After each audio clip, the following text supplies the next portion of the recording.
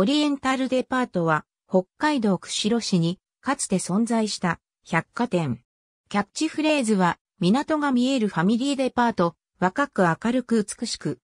閉店時刻は一般フロアが21時、食堂外フロアのみ23時。初期のトレードマークはダイヤマークと呼ばれる中央にオリエンタルと表記された二重の正八角形。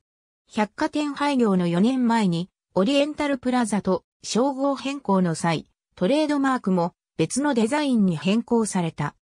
建物が立地した区画は大きな長方形型で、デパート建物が建つ前までは映画館、オペラ座と市内老保養食や時はグリル初代店舗が建っていた。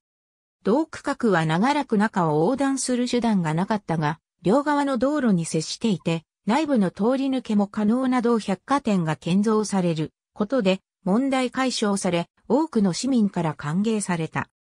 マスコットキャラクターには右を向いて、ラッパを吹く小鹿が取り入れられ、食堂の壁にはディズニー風の動物の絵が描かれる。その他、称号名にオリエンタルという語句が含んでいたことなどから、オリエンタルランドとの関連があったかのように誤解されるが、共に三井グループ系とはいえ、両企業との間に直接の関係は存在していなかった。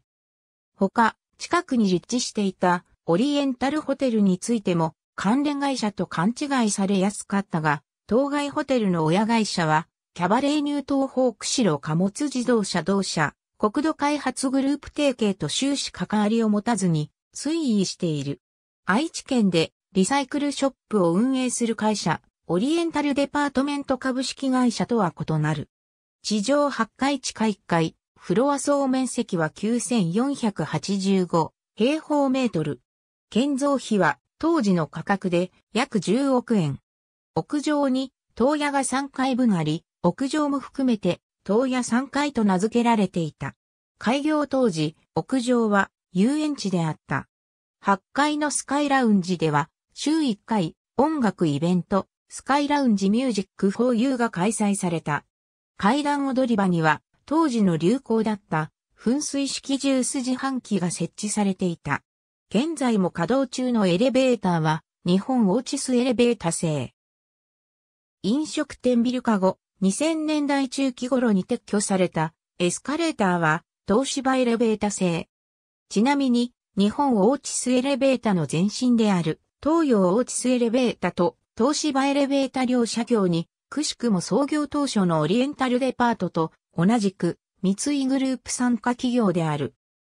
なまら北海道オリエンタルプラザでユニークなイベント開催。釧路新聞釧路新聞ウェブサイト2005年5月9日、なまら北海道オリエンタルプラザが暴力排除ビル宣言釧路新聞より釧路新聞ウェブサイト2005年10月19日、石井至さんによる、釧路地域ブランド戦略旧釧路市、厚生年金体育館横の広場に、常設屋外スケート場が建設されるまでは、副会場という扱いで利用されていた。開館時の名称は、釧路第二東映劇場。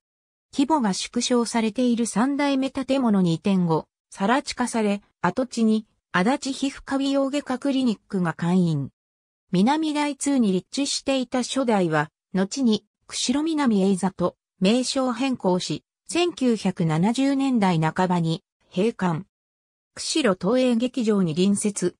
建物正面壁面に大きく、独裁経営と文字レリーフ装飾されているのが特徴。画像 HP1978 年10月、創業。1981年、大幅増床工事で大型点火。1990年代には帯広など、道東各地に出店。その後、本店を釧路町、葛城地区に移転し、北大通店に改名するも、2002年3月に業務規模を幅、縮小、店舗集約のため、閉店。2003年9月に廃業。ありがとうございます。